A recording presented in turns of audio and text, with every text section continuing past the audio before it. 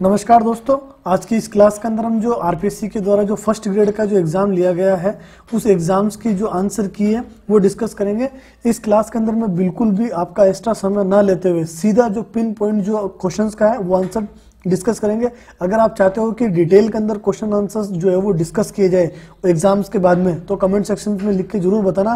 क्यों? क्योंकि आपको सबको पता है कि अभी स्टूडेंट्स के पेपर चल रहे हैं तो मैं ये नहीं चाहता हूँ कि वो ज़्यादा से ज़्यादा समय जो है वो स्टडी के बजाय दूसरी चीज़ों को पढ़ दे। लेकिन क्या है कि ये जो पेपर जो हुआ है, उसको सोल्व करना, उसको सोल्व करना इसलिए ज़रूरी है ताकि आप खुद जो है वो ये रणनीति बना सको कि हमारा जो अगला पेपर होने वाला आपको पता है कि छः तारीख को तो उस छह तारीख के लिए हमें किस प्रकार से प्रिपेयर करना चाहिए? सबसे पहले जो एक चीज़ आपको ध्यान रखनी है 2018 की जो करंट अफेयर्स है, वो आपको पढ़नी है। जो 2018 की करंट क्यों? क्योंकि आरपीएससी ने क्या किया है कि जो पुराना पेपर था ना, वो इसी पेपर को उठाया है और सीधा आपको दे दिया है। इसलिए अभी जितने भी जो क्वेश्चंस इस पेपर में कल जो हुआ है, उस पेपर के अंदर जितने भी जो क्वेश्चंस पूछे गए हैं वो सारे क्वेश्चन क्या थे? 2018 से पूछा गया। यानी कि इस बात के पूरे पूरे आशार हैं कि जो अगला पेपर भी होगा, वो भी बना बनाया है तो उसमें जो करंट अफेयर्स जो पूछी जाएगी, वो पुरानी पूछी जाएगी। अब इसका मतलब ये नहीं है कि आप जो है वो नई करंट जो है वो तैयार नहीं करो। वो भी आपको देखनी है, उसको एक बार देख लेना, लेकिन 2018 की तैयार करना क्यों? क्योंकि अगर आपसे क्वेश्चंस पूछे जाते तो उनको क्वेश्चंस को आप कर सको, इसलिए। अब चलते हैं क्वेश्चंस के ऊपर। हाँ एक चीज़ ज़रूर ध्यान रखना, अगर आपको डिटेल क्वेश्चन आंसर्स का डिस्कशन चाहिए, उसका एनालिसिस चाहिए तो वो एग्ज़ाम्स के बाद में ज़रूर मैं डिस्कस करूँगा। आप कमेंट सेक्शन में लिख के ज़रूर बताना, ठीक है? तो इसमें हमारा जो फ़र्स्ट क्वेश्चन है फ़र्स्ट क्वेश्चन है, अशोक स्तंभों के संबंध में, अशोक स्तंभों के संबंध में निम्नलिखित में से कौन से कथन सही है इसमें से? तो इसका एक क्वेश्चन जो स्टेटमेंट है, उनकी सतह चमकदार, ये वाला स्टेटमेंट सही है, और एक ये, स्तंभों में ये एकाश्मक एस या जो लाट होती है वो एकाश्मक होती थी। तो इसका जो राइट आंसर कौन सा? इसका जो राइट आंसर है वो फोर यानी बी और डी सीधा आंसर मैं आपको डिस्कस कर रहा हूँ। ठीक है? अगले क्वेश्चन के ऊपर चलते हैं। अगला क्वेश्चन है, विश्व प्रसिद्ध मिसान या माइसन मंदिर समूह दक्षिण पूर्व एशिया के जिस प्राचीन राज्य की धरोहर है, वह है चंपा। चंपा राज्य की धरोहर है। बाकी कोई सा भी इसका राइट आंसर नहीं है।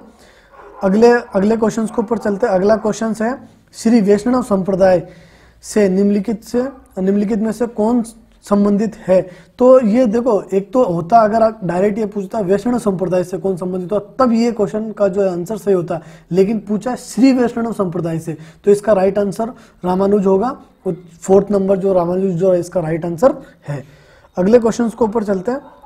अगला क्वेश्चन है, किस समाचार पत्र के माध्यम से विजय सिंह पथिक ने बिजोलिया किसान आंदोलन को समूचे भारत में चर्चा का विषय बनाया। तो आप सबको पता है, प्रताप नामक जो समाचार पत्र था, उसके माध्यम से। प्रताप, समाचार राइट आंसर फोर अगला क्वेश्चन है, सुभाष चंद्र बोस के बारे में निम्नलिखित में से कौन से कथन सही है?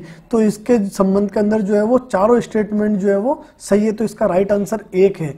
यानी जो फ़र्स्ट स्टेटमेंट है ये स्टेटमेंट भी सही है। सुभाष नेशनल कॉलेज के प्राचार्य नियुक्त हुए। सुभाष चंद्र कल, कल, कलकत्ता नगर निगम के मुख्य कार्यकारी अधिकारी के रूप में काम किया। ये भी सही है। कालांतर में कलकत्ता नगर निगम के महापौर चुने गए। ये भी सही है और उन्होंने कांग्रेस में फॉरवर्ड ब्लॉक का गठन किया था। ये भी आपको पता है उन्नीस के अंदर। तो इसके ए बी सी डी जो चारों स्टेटमेंट है वो सही है। तो इसका राइट आंसर कौन सा होगा? राइट आंसर एक ये देखो राइट आंसर जो है वो साइड में मैंने नंबर लिख रखा वो इसके हर क्वेश्चन के राइट आंसर होंगे। ठीक है ना? एक नंबर अगले क्वेश्चंस के अंदर चलते हैं।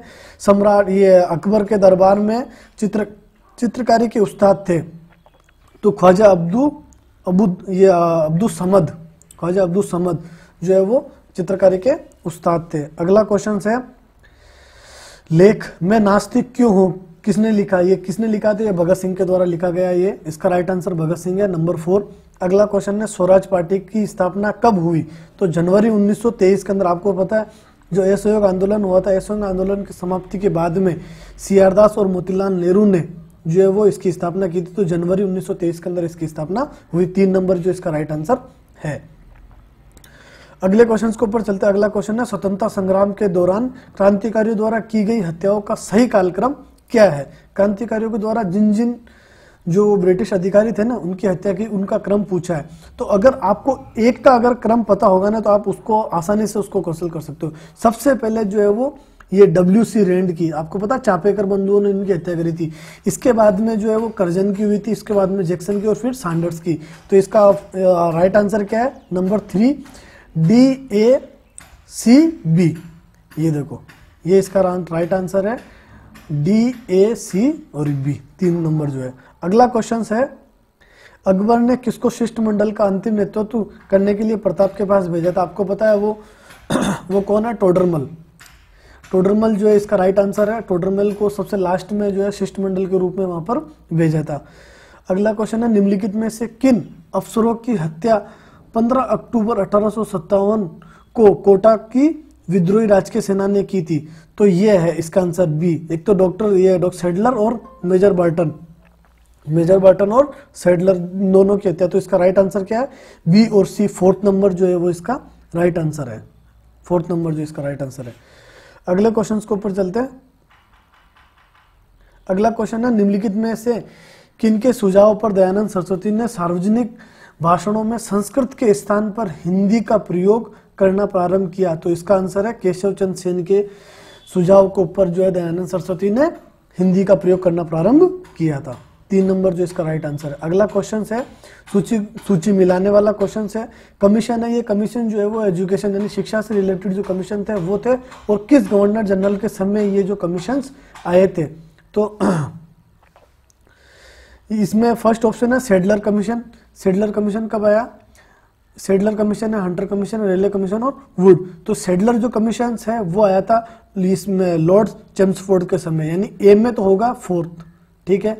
हंटर कमीशन कब आया था? हंटर कमीशन बी रिपेन के समय इसमें होगा एक। रेलवे कमीशन कब आया था? रेलवे कमीशन ये करजन के समय और वुड डिस्पेस जो है वो डलोजी के समय। तो इसमें तो होगा दो और इसमें होगा तीन। तो ये कौन आ रहा है? चार एक तीन दो। ये चार एक तीन दो नंबर फोर जो इसका वो राइट आंसर होगा। ठीक है? अगले क्वेश्चन के ऊपर चलते हैं। अगला क्वेश्चन है, इनमें से किसने age of consent bill Malabari के द्वारा एज ऑफ़ कंसेंट बिल लाया गया था? इसका विरोध किसने किया था? इसका विरोध जो है वो बाल गंगाधर तिलक ने इसका विरोध किया था। अगला क्वेश्चन है, गुप्त काल का निम्नलिखित में से कौन सा मंदिर मध्य प्रदेश में अवस्थित नहीं है? मध्य प्रदेश में अवस्थित नहीं है तो ये देवगढ़ का दशास्तार जो मंदिर है, ये इसका राइट आंसर है, ये मध्य प्रदेश में अवस्थित नहीं अगले मैक्स का क्वेश्चन है, ये अनुक्रम का तो इसका जो राइट आंसर है सात बटा तेरह, क्योंकि इसमें देखो क्रम चल रहा है। सात और तीन, अगर आप वो डिटेल में बाद में डिस्कस कर लेंगे, इसका राइट आंसर क्या है? राइट आंसर है सात बटा तेरह। अगला क्वेश्चन रीजनिंग का है। ये रिलेशन से रिलेटेड तो इसका जो राइट आंसर है वो राइट आंसर है चाचा। इसका राइट आंसर क्या है? एक नंबर जो है वो चाचा, इसका राइट आंसर है। अगले क्वेश्चन के ऊपर चलते हैं। निश्चित कोडिंग ये कोड से रिलेटेड क्वेश्चन है। इसको ये कहा जाता है डियर को ये केट को ये तो इसका राइट आंसर है sing S I N G S ये जो तीन नंबर पे जो है, वो इसका राइट आंसर है। ठीक है ना? अगला एज एज से रिलेटेड क्वेश्चन है, वर्ष से रिलेटेड तो इसमें जो विद्यालय में 25 अध्यापक थे, उनकी आयु औसत 30 वर्ष थी। उसी समय एक अध्यापक जिसकी आयु 60 वर्ष थी, सेवानिवृत्त हुए और एक नए अध्यापक की नियुक्ति उस अध्यापक के स्थान के ऊपर की गई। अब अध्यापक की औसत आयु से इसका राइट आंसर क्या है? पैंतीस वर्ष जो इसका राइट आंसर है। ठीक है? अगला क्वेश्चन है माध्य, माध्यमिका और बहुलक के मध्य प्रयोग का जो है ना, उसका संबंध में तो इसका राइट आंसर फोर्थ नंबर पे जो है, माध्य माइनस माध्यमिका, इसका राइट आंसर है फोर्थ माध्य माइनस माध्यमिका, एक बटा दो, माध्यमिका माइनस बहुलक। ये इसका जो राइट आंसर है, आप मिलान कर लेना। अच्छा एक चीज़ का ध्यान रखना, बहुत सारे जो क्वेश्चन है ना, उनमें ऑप्शन ऊपर नीचे होंगे, इसीलिए मैं आपको बोल के बता रहा हूँ कि इसका राइट आंसर ये होगा। वही चीज़ वहाँ लिखी होगी, लेकिन हो सकता है वो नंबर फोर की जगह नंबर दो पे लिखा हुआ नंबर तीन पे लिखा हुआ तो ये चीज़ आप ज़रूर देख लेना मिलान करते समय। अगला क्वेश्चन है, निम्नलिखित में से कौन सा द्वियामी आरेख नहीं है? देखो ये जो है ना, फंसाने वाले क्वेश्चन होते नहीं है। तो इसका जो राइट आंसर है, वो है बहुदंडीय आरेख। बहुदंडीय आरेख जो इसका राइट आंसर है। ये गनाब का आयतन 140 सेंटीमीटर क्यूब है। इसकी जो है, एक मिनट क्वेश्चन किधर चला गया? हाँ। ये रहा। दो से, दो सतहों का क्षेत्रफल अट्ठाईस सेंटीमीटर है और ये तो इसका राइट आंसर जो है गनाब की की लंबाइयों का योग चौसठ सेंटीमीटर जो इसका राइट आंसर एक नंबर जो है वो इसका राइट आंसर है। बेलन की जो त्रिज्या वाला क्वेश्चन है और ऊंचाई एक गोले की त्रिज्या के बराबर यदि बेलन की वक्राकार सतह क्षेत्रफल का संख्यात्मक मूल्य और गोले के आयतन के संख्यात्मक मूल्य के मध्य अनुपात एक, अनुपात तीन हो तो गोले का आयतन जो क्या होगा? इसका ये होगा दो सौ बटा पाई टू है जो ये इसका राइट आंसर होगा। दो नंबर के ऊपर जो इसका राइट आंसर है। ठीक है? अगले क्वेश्चन के ऊपर चलते हैं। एक पार्टी में शाकाहारी, मांसाहारी दोनों प्रकार के व्यंजन परोसे गए। कुछ व्यक्तियों ने केवल शाकाहारी भोजन लिया और कुछ व्यक्तियों ने केवल मांसाहारी भोजन लिया, जबकि कुछ व्यक्तियों ने दोनों प्रकार का भोजन। तो ये सिलोलिन जो है ना, उससे रिलेटेड क्वेश्चन है, जबकि कुछ व्यक्तियों ने दोनों प्रकार के, दोनों प्रकार का भोजन लिया। और शेष ने किसी भी प्रकार का भोजन नहीं लिया है। निम्नलिखित में से कौन सा वेन आरेख? इस, इसी को हम क्या कहते हैं? वेन आरेख जो क्वेश्चन है या सिलोलिन वेन आर से रिलेटेड तो इसका जो राइट आंसर है वो दो नंबर तो ये गोला जो है वो ये जो है इसका राइट आंसर है। दो नंबर जो है वो राइट आंसर है। ये चित्र आप देख सकते हैं अपना आंसर मिलान कर सकते हो। ठीक है ना? अगला क्वेश्चन है सत्ताईस हज़ार सात सौ बीस संख्या के विभिन्न अभाज्य अभाज्य भाजकों की संख्या कितनी है? तो इसका राइट आंसर दो नंबर पे जो पाँच है ना, वो इसका राइट आंसर है। ठीक है? अगले क्वेश्चन के ऊपर चलते हैं अपन। अगला क्वेश्चन ये हमारे हिंदी के क्वेश्चन जो है वो स्टार्ट हो चुके हैं। निम्नलिखित शब्दों पर ध्यान दीजिए। इसमें से कॉमन को क्या आक्रमक क्रियाएँ चुननी है? तो बे और से। एक तो ये जो है, ये जो है, टहलना। बे और से। छींकना, ये दोनों जो है वो राइट आंसर इसका। फोर्थ नंबर का जो राइट आंसर है, वो ये है ये। ये इसका राइट आंसर है। किसी विकल्प में गलत संधि विच्छेद, गलत संधि विच्छेद जो है वो दो नंबर पे ये दी हुई ना। पुत्रेषणा, ये पुत्र प्लेषणा ये गलत संधि विच्छेद है, ये इसका राइट आंसर है दो नंबर अगला अगला क्वेश्चन है।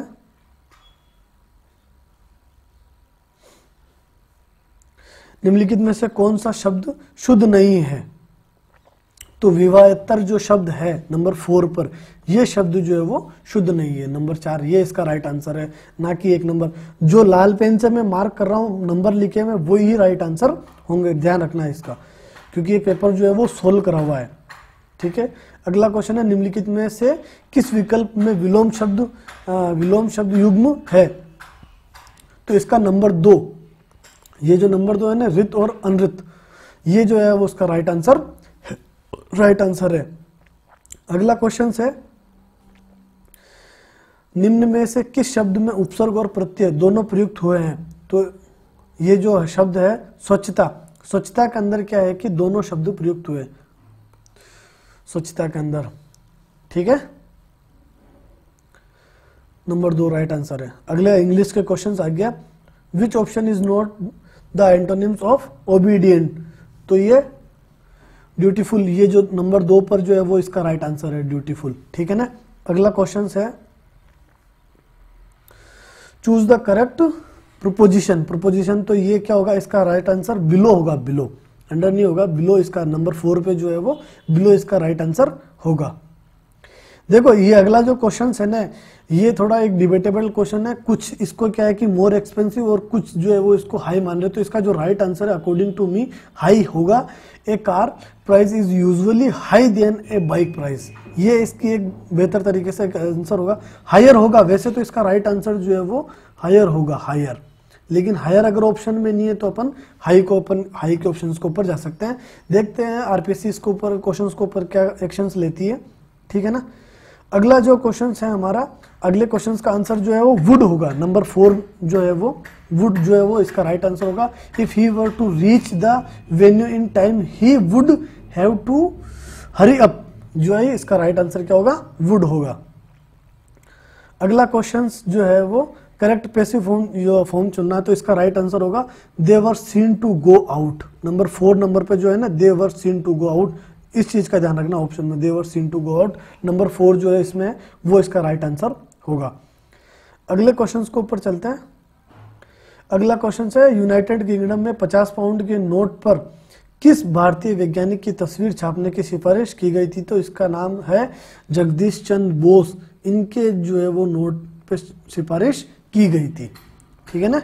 नंबर दो जो है वो राइट आंसर है। अगला क्वेश्चन है राजस्थान में मुख्यमंत्री के महिला सशक्तिकरण हेतु सात सूत्रीय कार्यक्रम में निम्नलिखित में से क्या शामिल?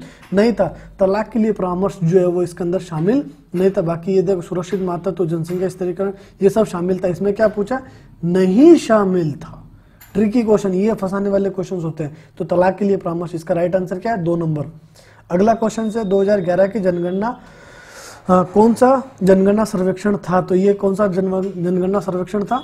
पंद्रवा जनगणना सर्वेक्षण था तो एक जो है इसका राइट आंसर है पंद्रवा नंबर अगला क्वेश्चन है, भारत के पुरातात्विक सर्वेक्षण के हालिया उत्खनन में उत्तर प्रदेश के किस स्थान पर 2000 बीसी, बीसीई की समाधियाँ खोजी गई? तो ये सनौली स्थान के ऊपर. नंबर तीन जो इसका राइट आंसर है. ठीक है ना? अगला क्वेश्चन है, पुरुष हॉकी की पांचवी एशियाई चैंपियन ट्रॉफी 2018 का आयोजन कहाँ किया गया? तो ये मस्कट मस्कट ओमान के अंदर जो है वो, वहाँ पर इसकी जो है वो आयोजन किया गया, पुरुष हॉकी पांचवी एशियाई की। अगला क्वेश्चन है इंटर वाइडेंट वाइज पुस्तक के लेखक कौन है? तो जयराम रमेश जो है वो इस पुस्तक के लेखक है। ध्यान रखना, जयराम रमेश। ये जो सारी करंट अफेयर्स है 2018 की वहाँ खुद आप क्वेश्चंस के ऊपर पढ़ लोगे। क्योंकि 2018 के क्वेश्चन पूछी गई। निम्नलिखित में से कौन सी एक फ़िल्म कल्पना लाजमी द्वारा निर्देशित है? यानी कल्पना लाजमी ने कौन सी फ़िल्म को डायरेक्ट किया? तो एक नज़र जो फ़िल्म है, उसको इन्होंने डायरेक्ट किया। नंबर दो इसका राइट आंसर है। ये उत्तरी सेनेटल द्वीप बंगाल की खाड़ी में। ये देखो 2018 की करंट है, क्योंकि वहाँ पर जो है वो आदिवासी समूह ने जो अमेरिका का जो नागरिक था, उसकी हत्या कर दी थी। इस वजह से ये न्यूज़ में था तो ये क्वेश्चन 2018 का। तो इसीलिए ये पता चल रहा है कि जो पेपर है ना वो पेपर क्या है 2018 का बना हुआ है। ठीक है ना? अगले क्वेश्चन के ऊपर चलते हैं। अगला क्वेश्चन है हमारा, सितंबर 2018 को आधार योजना एवं अधिनियम, ये देखो, साफ़ स्पष्ट लिखा हुआ है करंट अफेयर्स दो हज़ार अठारह में उच्चतम न्यायालय की पाँच न्यायाधीशों की संविधान पीठ में निम्नलिखित न्यायाधीशों में से किसने बहुमत के निर्णय से सहमति दी थी? आधार के संबंध में जो सुप्रीम कोर्ट का डिसीज़न आया था तो न्यायमूर्ति डी वाई चंद्रचूड़ ये जो डी वाई चंद्रचूड़ है ना, इन्होंने जो है सहमति दी थी। ये डी वाई चंद्रचूड़ जो है अभी अयोध्या मामला हुआ था, उनमें भी जो संवैधानिक पीठ थी, जिसमें रंजन गोगोई जो है वो सीजीआई थे और संवैधानिक पीठ के अध्यक्ष भी थे, उसमें ये डी वाई चंद्रचूड़ भी शामिल थे। ये चीज़ भी ध्यान रखना। ये एक 2019 के करंट अफेयर्स का मैंने बताया। विराट कोहली के संबंध में जो है वो कथन तो इसमें से केवल एक कथन इसका सही है कि एक दिवसीय अंतर्राष्ट्रीय मैचों में दस हज़ार रन पूरा करने वाले वे दुनिया के तेरहवें बल्लेबाज बन गए। तो केवल एक जो स्टेटमेंट है वो इनका सही है, दूसरा स्टेटमेंट जो है वो गलत है। तो राइट आंसर एक होगा इसका। अगले क्वेश्चन के ऊपर चलते हैं। एक सामान्य बालिका शिशु अपने एक्स गुणसूत्र प्राप्त करती है। एक्स गुणसूत्र, यानी सामान्य बालिका शिशु जो है एक्स गुणसूत्र अपने माता और पिता, क्योंकि पिता में एक्स और वाई दोनों होते हैं तो अगर बालिका होगी तो एक्स जो है वो पिता से ही लिया जाएगा, क्योंकि माता में तो केवल क्या होता है एक्स एक्स ही होते हैं, ठीक है ना? तो इसका राइट आंसर नंबर फोर अपने माता तथा पिता दोनों से। अगला क्वेश्चन है, भारत का सर्वोच्च दर्जे का सिविल सेवक, कैबिनेट सेक्रेटरी देखो, मंत्रिमंडलीय सचिव, इसको मंत्रिमंडल सचिव ही बोलते हैं, और इंग्लिश में कैबिनेट सचिव, जो कैबिनेट सेक्रेटरी जो है वो इसका राइट आंसर सी मंत्रिमंडल सचिव होगा, तीन नंबर पे जो है वो। भारत के राष्ट्रपति का पद शासकीय प्रणाली के किस संयोग का चरित्रार्थ नहीं करता है? यानी जो राष्ट्रपति का पद है वो किसका चरित्रार्थ नहीं करता है? तो इसका राइट आंसर जो है वो बी अध्यक्षात्मक और गणतंत्र, क्योंकि भारत में अध्यक्षात्मक शासन प्रणाली नहीं है। संसदीय शासन, ये भी सही है, ये भी सही, इसका करता है, इसका करता है। यह पूछा चरित्रार्थ नहीं करता है तो राइट आंसर दो नंबर पर जो होगा, अध्यक्षात्मक एवं गणतंत्रीय। वो इसका राइट आंसर है। ठीक है? अगले क्वेश्चन के ऊपर चलता है। कोलिफॉर्म जीवाणु कौन से मानव अंग में पाए जाते हैं? तो ये नंबर चार पे जो आंत है, वहाँ पर पाए जाते हैं। नंबर फोर, चार इसका राइट आंसर है। अगला ये देखो, ये अभिक्रिया जो है ना, वो किसका उदाहरण है? तो ये अभिक्रिया जो है, द्विविस्थापन अभिक्रिया का उदाहरण है। किसका? द्विविस्थापन अभिक्रिया। नंबर दो जो है, वो इसका राइट आंसर है। ठीक है ना? अगले चलते एसआई का, ये संवेग का एसआई मात्रक सॉरी तो संवेग का एसआई मात्रक नंबर एक पर जो है ना, एक किलोग्राम मीटर प्रति सेकंड, ये जो है इसका राइट आंसर एक नंबर वाला जो है उसका राइट आंसर राइट आंसर है। अगला क्वेश्चन है, उच्चतम न्यायालय में न्यायाधीशों की नियुक्ति सॉरी सॉरी न्यायाधीशों की नियुक्ति हेतु संस्तुति करने से पूर्व भारत के मुख्य न्यायमूर्ति को उच्चतम न्यायालय के कितने वरिष्ठ तो चार वरिष्ठ न्यायाधीशों का जो कोलेजियम होता है ना, उसमें चार वरिष्ठ न्यायाधीशों का परामर्श लेना होता है। तो इसका राइट आंसर नंबर फोर पर जो है वो सही है। राज्यसभा का पूर्ववर्ती सदन, ये काउंसिल ऑफ़ स्टेट नंबर तीन पर जो है ना काउंसिल ऑफ़ स्टेट्स ये इसका राइट आंसर है। चेंबर ऑफ़ प्रिंसेस तो जो है राजा महाराजाओं का था राज्यसभा का नहीं था वो, ठीक है ना? वो गलत है नंबर तीन जो है वो राइट आंसर है, ठीक है ना? अगला क्वेश्चन है, निम्नलिखित में से किस तत्व की परमाणुकता एक होती है? तो ऑर्गन जो है वो इसका राइट आंसर है, एक होती है, ठीक है? अगला क्वेश्चन है, भारत के निर्वाचन आयोग द्वारा कितने राजनीतिक दलों को राष्ट्रीय दल के रूप में मान्यता प्रदान की गई थी। की गई। अच्छा भारत के निर्वाचन आयोग के द्वारा कितने राजनीतिक दलों को राष्ट्रीय दल के रूप में मान्यता? तो देखो, इसमें वर्तमान में तो आठ है, लेकिन जब 2018 ये 2018 के अंदर था तो तब तक क्या है? अगर सात ऑप्शन आ रहा तो इसका राइट आंसर सात होगा। अगर वर्तमान में पूछा जाए तो वर्तमान तक, यानी अभी तक कितने राजनीतिक दल जो है वो रजिस्टर्ड है तो वो आठ हो चुके हैं। ठीक है ना? अगला क्वेश्चन है, निम्नलिखित में से किस समिति की अनुशंसा के आधार पर जो है S I S I E R T Udaipur की स्थापना की गई थी? तो मेहरोत्रा समिति की जो सिफारिश के आधार पर इसकी जो है वो स्थापना की गई थी। ठीक है ना? अभी इसी से रिलेटेड एक और क्वेश्चन अभी इसमें पूछा गया था। ये रहा। अगला क्वेश्चन आ गया। राजस्थान के राजस्थान में विद्या, विद्यालय और अध्यापक शिक्षा के योजना निर्माण, क्रियान्वयन और मूल्यांकन के लिए सर्वोच्च शैक्षिक संगठन तो ये एस यानी जिसको वो पता है सेम टॉपिक से दो क्वेश्चन पूछ लिए। एसआईटी उदयपुर, इसका तीन नंबर जो है वो राइट आंसर है। अगला क्वेश्चन है, सेवाकालीन शिक्षक प्रशिक्षण हेतु निम्नलिखित में से कौन सा जिला सीटीआई शिक्षक प्रशिक्षण महाविद्यालय हटुंडी के अंतर्गत नहीं आता, कोटा। यानी एक टोग नागौर जो हटुंडी है, अजमेर के अंदर जो है, उसके अंदर आता है, लेकिन जो कोटा है, वो इसके अंदर नहीं आता है। ठीक है ना? अगला क्वेश्चन है ई एम आई एस के ई एम आई एस के विकास का प्रथम चरण है, सूचना संग्रहण। इसका नंबर दो जो है, वो राइट आंसर है। नंबर दो क्या है? सूचना संग्रहण जो इसका राइट आंसर है। ठीक है? अगला क्वेश्चन है, निम्नलिखित में से कौन सा नगर पूर्व पश्चिम कॉरिडोर से जुड़ा नहीं है जयपुर दो। देखो दोस्तों, बहुत सारे प्लेटफॉर्म के ऊपर डिटेल के अंदर जो है वो क्वेश्चन डिस्कस किए गए लेकिन मैं नहीं चाह रहा हूँ कि अभी, क्योंकि अभी डिटेल में डिस्कस करने से क्या होगा कि आपका जो समय है ना वो बहुत ज़्यादा कंज्यूम होगा। इसलिए मैं बिल्कुल शॉर्ट फॉर्म में आपके जो है वो ये क्वेश्चन डिस्कस कर रहा हूँ, ताकि आपको सीधा राइट जो है वो आंसर पता चल सके। ठीक है ना? डिटेल में डिस्कस जो है वो एग्ज़ाम्स के बाद में कर लेंगे। अगला क्वेश्चन के ऊपर चलते हैं। अगला क्वेश्चन है। शिक्षा का अधिकार कानून 2009 के अनुसार यदि कोई विद्यालय कैपिटेशन शुल्क लेता है तब उसके लिए क्या दंड दिया जाए तो इसके लिए प्रति व्यक्ति शुल्क के ये जो है ना नंबर एक पर, पर, पर, प्रति व्यक्ति प्रति व्यक्ति प्रति व्यक्ति शुल्क के दस गुना तक अर्थदंड लिया जा सकता है। नंबर एक जो है इसका राइट आंसर है। ठीक है ना? अगले क्वेश्चन को ऊपर अगले अगले क्वेश्चन के ऊपर चलते हैं। अगला क्वेश्चन है, निम्नलिखित निम्नलिखित कथनों पर विचार कीजिए। अरावली के संबंध में तो अरावली के संबंध में जो है ना, ये फ़र्स्ट स्टेटमेंट पूर्वी विस्तार को, मरुस्थली के जो विस्तार को रोकता है, ये सही है। अरावली क्षेत्र खनिजों से समृद्ध समृद्ध है। इसके अलावा अगला क्वेश्चन है, राजस्थान के अनेक नदियों का उद्गम स्थल अरावली है, ये तीनों। यानी कि ए बी और डी यानी सी इसका गलत आंसर तो राइट आंसर इसका एक नंबर है A B D A B D जो इसका राइट आंसर है। अगला क्वेश्चन जो है, अगला क्वेश्चन है, स्थानीय स्तर पर विद्यालय मानचित्रण तैयार करने के लिए के लिए विभिन्न कार्यों का सही क्रम कौन सा होता है? तो इसमें होता है, सबसे पहले निदान, फिर प्रस्ताव और फिर प्रशिक्षण। नंबर चार जो है, वो इसका राइट आंसर है। ठीक है ना?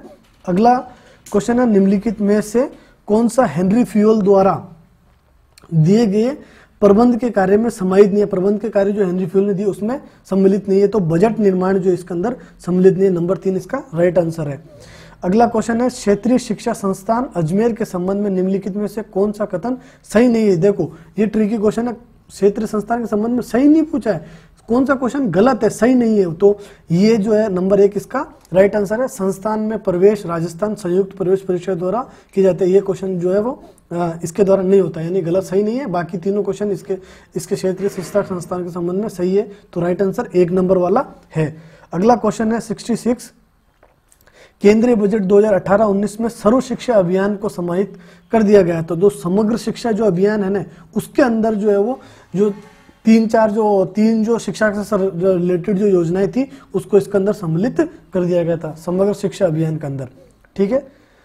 अगला क्वेश्चन है, निम्नलिखित में से कौन सा शिक्षा का अधिकार कानून 2009 के संदर्भ में सही नहीं है? इसका भाग चौदह नंबर एक जो है वो इसका राइट आंसर है, इसका भाग चौदह प्रतिशुल्क संग्रहण का निषेध करता है। ठीक है? कुछ ही क्वेश्चंस बते हैं चार पाँच क्वेश्चन सेवेंटी फाइव क्वेश्चन है। अगला क्वेश्चन है 68 निम्नलिखित में से किस ज़िले में 2001 2001 में न्यूनतम बाल लिंगानुपात यानी ज़ीरो से छह वर्ष जो है वो अंकित किया गया तो नंबर चार जो करौली है वो इसका राइट आंसर है। ठीक है ना? अगला क्वेश्चन है राजस्थान में न्यूनतम दैनिक तापांतर। देखो, क्या पूछा है? न्यूनतम दैनिक तापांतर पूछा है। न्यूनतम दैनिक तापांतर। दैनिक तापांतर का मतलब जो तापमान अधिकतम और जो न्यूनतम होता है, उसके बीच का जो होता है ना, उसको तापांतर। तो जुलाई और अगस्त के महीने में जो है वो न्यूनतम तापांतर होता है। ठीक है ना?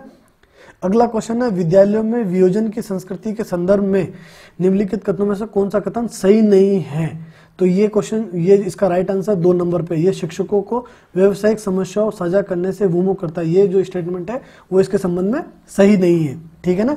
तो राइट आंसर दो नंबर का है। अगला क्वेश्चन है सेवेंटी वन विद्यालय मानचित्रण के संदर्भ में निम्नलिखित में से कौन सा कथन सही नहीं है? तो इसका राइट आंसर एक नंबर इसका अर्थ सिर्फ़ एक बड़े मानचित्र पर वर्तमान विद्यालयों का स्थान निरूपित करना एक नंबर जो है वो इसका राइट आंसर है। अगला क्वेश्चन है seventy two S I S I E R T Udaipur द्वारा किए गए डाइक डाइट रैंकिंग 2017 के अनुसार निम्नलिखित में से कौन सा डाइट जो है वो प्रथम स्थान पे तो डाइट नागौर जो है वो फ़र्स्ट स्थान पे देखो, इस टॉपिक से जो है वो तीन क्वेश्चन पूछे गए हैं। एक तो ये, इसका खुद का एक ऑप्शन में देखे, ये जो है S I E R T Udaipur जो है वो राइट आंसर था ऑप्शन में हमने आगे डिस्कस किया था इससे पहले। अगला क्वेश्चन है सेवेंटी कौन सा युग जो है वो गलत है अपन को वो छाटना तो ये जो नंबर फ़र्स्ट है ना चूना पत्थर वाला, चूना पत्थर कर्नोई ये जो है वो ऑप्शन गलत है, बाकी तीनों सही है तो इसका राइट आंसर दो नंबर पे एक जो है वो गलत है। ये इसका एक नंबर दो नंबर जो है वो इसका राइट आंसर होगा। ठीक है? अगला क्वेश्चन है सेवेंटी फोर भारत में डाइस डाइस का प्रथम प्रारूप निम्नलिखित में से किस वर्ष जारी किया गया था? तो 1900 इसका जो राइट आंसर जो है वो 95 95 उन्नीस के अंदर जारी किया गया था। ठीक है ना? इसका जो राइट आंसर क्या है?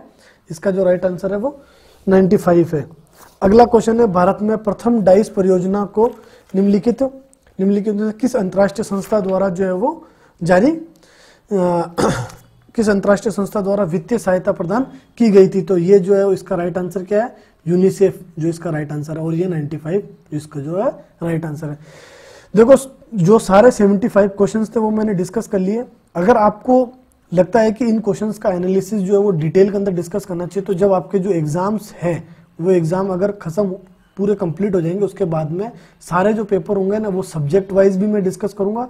और जो जो कॉमन जो फ़र्स्ट पेपर होते हैं फ़र्स्ट ग्रेड का, वो फ़र्स्ट ग्रेड के जो पेपर है, वो भी मैं डिटेल के अंदर डिस्कस कर लूँगा। अभी तो क्या है कि ये पेपर हुआ है, अब छह तारीख के जो स्टूडेंट्स एग्ज़ाम देंगे, उनको ये एक आइडिया लग जाए कि भाई, जो पेपर है, वो किस स्टैंडर्ड के ऊपर, किस मेथड के ऊपर आ रहा है। और सबसे इंपॉर्टेंट चीज़ 2018 की करंट आपको पढ़नी है। ठीक है ना? आरपीएससी ने क्या किया है? आरपीएससी ने 2018 में जो पेपर बनाया है, उसी पेपर को ऐसा का ऐसा इधर दे दिया है आपको। ठीक है? थैंक यू फ्रेंड्स अगर आपको वीडियो पसंद आया हो तो क्या कर देना है? लाइक भी कर देना शेयर भी कर देना और सब्सक्राइब भी कर देना, ताकि इसी प्रकार से आपको वीडियो मिलते रहे। Thank you